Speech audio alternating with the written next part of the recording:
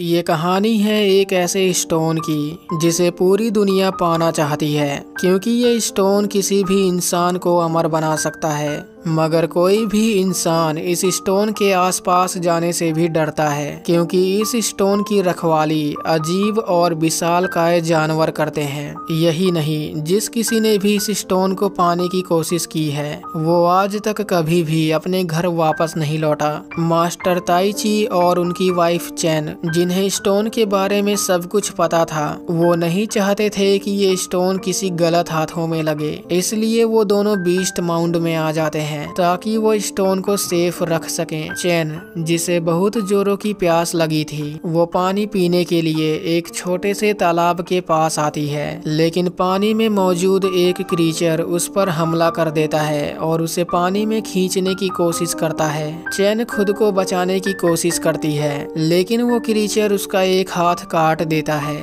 और उसे दोबारा से पानी में खींचने की कोशिश करता है। लेकिन चैन अपनी तलवार का इस्तेमाल करके उस क्रीचर को मार डालती है और पानी से बाहर आ जाती है। बाहर आने के बाद चैन वहाँ से भागने की कोशिश करती है, लेकिन एक दूसरा क्रीचर चैन को पकड़ लेता है और उसे मार कर खा जाता है। मूवी का सीन चेंज होता है और हम चेंग फेंग और उसकी छोटी बहन यान रान को देखते हैं, जिन्होंने एक बच्चे को किडनैप किया हुआ था। दरअसल चेंग फेंग उस बच्चे का इस्तेमाल करके मोनेतियन को मारना चाहता था।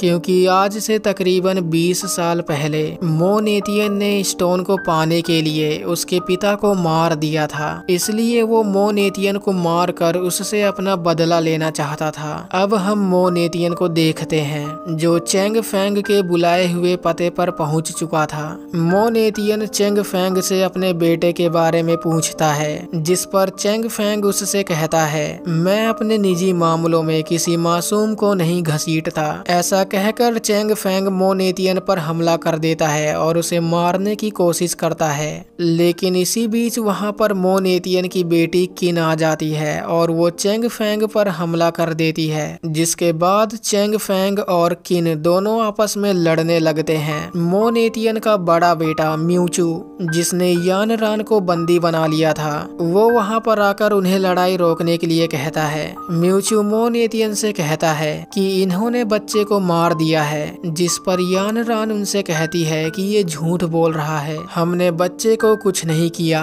वो लोग बच्चे को लेकर एक दूसरे से बहस करने लगते हैं, लेकिन उसी समय वहाँ पर एक विशाल काय जानवर आ जाता है और वो एक एक करके वहाँ पर मौजूद सिपाहियों को मारने लगता है। चेंग फेंग उन्हें हिलने से मना करता है, लेकिन एक सिपाही जो बहुत ज़्यादा डर गया था, वो अपनी जान बचाकर वहाँ से भागने की कोशिश कोशिश करता है, लेकिन वो क्रीचर उसका पीछा करता है और उसे मार कर खा जाता है, क्योंकि वो क्रीचर ज़मीन के नीचे रहकर शिकार किया करता था। इसलिए किन उसकी इस कमज़ोरी का फ़ायदा उठाती है और उसे पत्थरों से बने एक टेंपल के पास ले आती है। टेंपल के पास आते ही किन उस जानवर पर एक बड़ा सा पत्थर गिरा देती है और अपनी तलवार का इस्तेमाल करके उस जानवर को मार डालती है। उस क्रीचर को मारने के बाद, जब किन अपने फादर के पास वापस आती है। तब वो पाती है कि चेंग फेंग उसके फादर को जहर देकर वहाँ से जा चुका है। किन अपने फादर को मरते हुए नहीं देख सकती थी। इसलिए वो चेंग फेंग को ढूँढने का फैसला करती है। अब हम चेंग फेंग और याना रन को देखते हैं, जो एक जगह पर बैठकर आराम कर रहे थे। लेकिन तभी वहाँ पर एक आदमी आ जाता है। चेंग फेंग को लग रहा था कि वो आदमी उन्हें मारने आया है। इसलिए वो उस आदमी पर हमला कर देता है।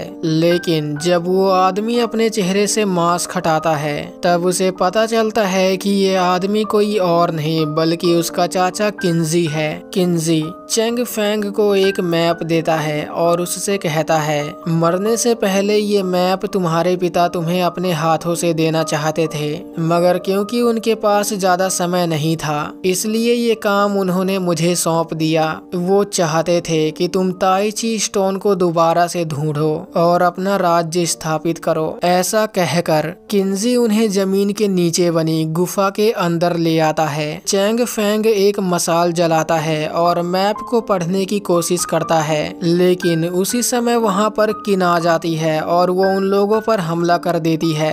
किन चेंग फेंग से एंटीडोट मांगती है, ताकि वो अपने फादर को ठीक कर सके। लेकिन तभी एक स्क्विड जैसा दिखने वाला जानवर ज़मीन फाड़कर बाहर निकलता है और एक एक करके सब लोगों को मारना शुरू कर देता है। वो लोग उस क्रीचर से बचने के लिए दूसरी तरफ़ आ जाते हैं, लेकिन वो क्रीचर पत्थरों को ड्रिल करके उन लोगों पर हमला कर देता है और उन्हें मारने की कोशिश करता है। चेंग फेंग देखता है कि जो लोग शांति से खड़े हुए हैं, वो क्रीचर उन्हें कुछ नहीं कर रहा। वो क्रीचर की इस कमज़ोरी का फ़ायदा उठाता है और उसे बहुत बुरी तरह मारता है, जिसके बाद वो क्रीचर वहाँ से चला जाता है। लेकिन क्योंकि वो क्रीचर मैप को अपने साथ ले गया था, इसलिए चेंग फेंग उस क्रीचर का पीछा करता है और गुफा के दूसरी तरफ़ आ जाता है, जहाँ एक पागल आदमी उस पर हमला करके उससे फाइट करने लगता है। लेकिन उस क्रीचर के जाते ही वो आदमी भी वहाँ से चला जाता है। उस क्रीचर का पीछा करते हुए चेंग फेंग गुफा के दूसरी तरफ़ आ जाता है, जहाँ पर उसकी नज़र एक बड़ी सी मकड़ी पर जाती है। लेकिन जब म्यूचू की नज़र उस बड़े से स्पाइडर पर जाती है, तब वो काफ़ी डर जाता है और वहाँ से भागने की कोशिश करता है।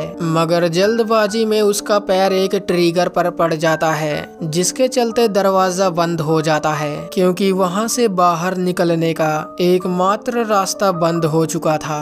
इसलिए चेंग फेंग मैप को रीड करके यहाँ से बाहर निकलने का कोई दूसरा रास्ता ढूँढने लगता है। जिन जालों पर मकड़ी की प्रतिक्रिया नहीं हो रही थी, वो उन जालों पर निशान लगा देता है और उसी रास्ते पर आगे बढ़ने लगता है। गुफा के दूसरी तरफ़ पहुँचने के बाद वो वहाँ पर एक रस्सी बाँध देता है। उस रस्सी का इस्तेमाल करके सब लोग गुफा के दूसरी तरफ़ आ जाते हैं। लेकिन जब यान रान की बारी आती है, तब उसकी फ्लूट नीचे गिर जाती है, क्योंकि ये फ्लूट उसके लिए बहुत ज़्यादा कीमती थी। इसलिए वो उसे लेने के लिए नीचे कूद जाती है, लेकिन वो मकड़ी उसे देख लेती है और उस पर हमला करके उसे मारने की कोशिश करती है, लेकिन चेंग फेंग जैसे तैसे करके उसे बचा लेता है।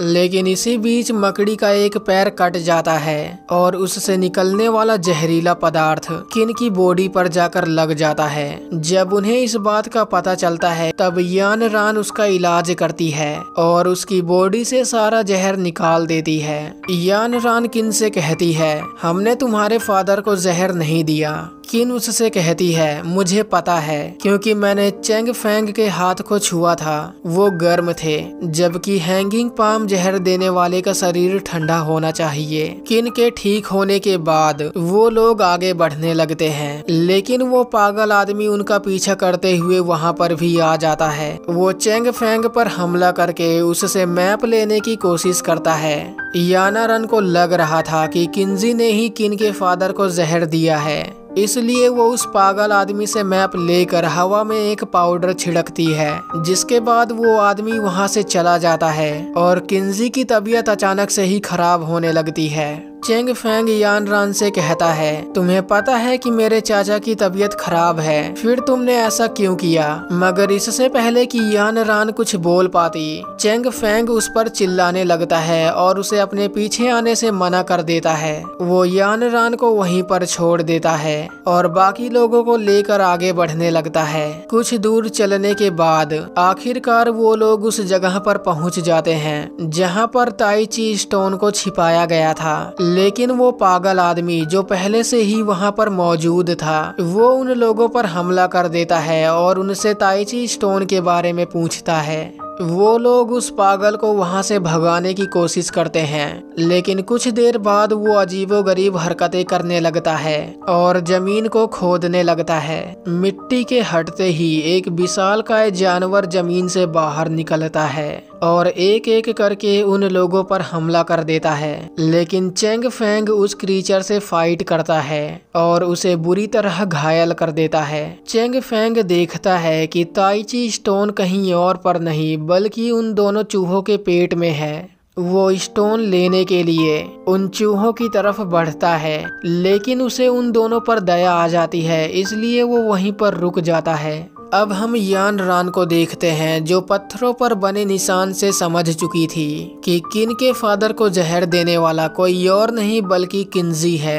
यान रान चेंग फेंग को सच बताने के लिए उसके पास जाती है, मगर तब तक काफ़ी देर हो चुकी थी, क्योंकि किन्जी ने चूहे के पेट को फाड़ कर स्टोन को बाहर निकाल लिया था। चेंग फेंग अपने चाचा से पूछता है कि आपने ऐसा क्यों किया, जिस पर वो उसे बताता है कि मैं कबीले का सबसे काबिल स्टूडेंट था मैं हमेशा से ही स्टोन की रक्षा करना चाहता था, लेकिन लोगों ने मेरी काबिलियत को कभी नहीं देखा, और उन्होंने स्टोन की रक्षा करने के लिए तुम्हारे पिता को चुना मुझसे ये सब बर्दाश्त नहीं हुआ, इसलिए मैंने कबीलों के बीच लड़ाई करवा दी, और मौका मिलते ही मैंने मैप को चुरा लिया, ताकि स्टोन का इस्तेमाल करके मैं शक्तिशाली बन सकूँ। ये सब सुनने के बाद यन रान को बहुत गुस्सा आता है, और वो उस पर हमला करके उसे मारने की कोशिश करती है, लेकिन किन्जी उससे बहुत ज़्यादा ताकतवर था, इसलिए वो उसे उठाकर दूर फेंक देता है और चेंग फेंग के सामने उसका गला दबाकर उसे मार डालता है। म्यूचू को लग रहा था कि किन्जी किन को भी मार देगा, इसलिए वो किन को पत्थरों के बीच छिपा देता है और बाहर आकर उससे लड़ने लगता है। म्यूचू बार बार उसे लंगड़ा लंगड़ा कह रहा था, इसलिए उसे म्यूचू पर बहुत गुस्सा आता है। और वो म्यूचू की गर्दन मरोड़कर उसे मार डालता है। अब हम उस पागल आदमी को देखते हैं, जो चेंग फेंग को उठाने की कोशिश कर रहा था। ताकि वो उससे ताइची स्टोन के बारे में पूछ सके। लेकिन तभी उसकी नज़र चेंग फेंग के गले में लटके लॉकेट की तरफ़ जाती है और उसे सब कुछ याद आ जाता है। लेकिन इसी बीच चेंग फेंग को होश आ जाता है और वो उस पागल आदमी से दूर हट जाता है। जब उसे उस आदमी का चेहरा दिखता है, तब उसे पता चलता है कि वो पागल आदमी कोई और नहीं, बल्कि उसके पिता हैं, जो कि अभी तक ज़िंदा थे, क्योंकि उसके पिता की याददाश्त अब वापस आ चुकी थी। इसलिए उसके पिता उसे सारी बात बता देते हैं कि किस तरह से वो यहाँ पर ताइची स्टोन को छिपाने आया था। मगर यहाँ से बाहर ना निकल पाने की वजह से वो पागल हो गया, क्योंकि बीस्ट माउंट अब धीरे धीरे टूट रहा था। इसलिए वो चैंग को एक सीक्रेट डोर की तरफ़ ले जाता है, ताकि वो उसे यहाँ से बाहर निकाल सके। वो चैंग को बाहर तो निकाल देते हैं, मगर पैर पर पत्थर गिर जाने की वजह से वो दोबारा से वहीं पर फंस जाते हैं। अब हम किन्जी को देखते हैं, जो मोनेतियन को मारने के लिए उसके पास आ जाता है। इससे पहले कि किन्जी मोनेतियन को मार डाले, किन उस पर हमला कर देती है और उसे मारने की कोशिश करती है। मगर क्योंकि किन्जी अब इमोर्टल हो चुका था, इसलिए उस पर किसी भी चोट का कोई भी असर नहीं होता, और वो किन को उठाकर दूर फेंक देता है। किन को बुरी तरह मारने के बाद, वो मोनेतियन को भी मार डालता है। इससे पहले कि वो किन को भी मार डाले। चेंग फेंग वहाँ पर आकर उससे फाइट करता है और उसे बहुत बुरी तरह मारता है। वो किन्जी को ताइची स्टोन वापस लौटाने के लिए कहता है, मगर किन्जी उसकी जरा भी नहीं सुनता और वो ताइची स्टोन को निगल जाता है। मगर ताइची स्टोन को निगलने के बाद वो बूढ़ा हो जाता है और अपनी बची कुची ताकत का इस्तेमाल करके वो चेंग फेंग से फाइट करता है। लेकिन चेंग फेंग उसे बहुत मारता है और उसे उठाकर दूर फेंक देता है। ज़मीन पर गिरते ही उसे वॉमिटिंग होने लगती है और स्टोन उसके पेट से बाहर आ जाता है। किन्जी नहीं चाहता था कि वो स्टोन चेंग फेंग के हाथ लगे, इसलिए वो स्टोन को तोड़ने की कोशिश करता है। लेकिन तभी एक चूहा ज़मीन को फाड़कर बाहर आता है और उसे मार कर खा जाता है। इससे पहले कि वो चूहा स्टोन को भी निगल जाए, चेंग फेंग उस चूहे को वापस गड्ढे में ढकेल देता है और ताइची स्टोन को अपने पास रख लेता है। चेंग फेंग जानता था कि जब तक ये स्टोन धरती पर रहेगा, तब तक लोग इसे ढूँढने की कोशिश करते रहेंगे। चेंग फेंग नहीं चाहता था कि ये स्टोन अब किसी और के हाथ लगे। इसलिए वो ताइची स्टोन को लेकर गड्ढे में कूद जाता है और इसी के साथ ये मूवी यहीं पर खत्म हो जाती है।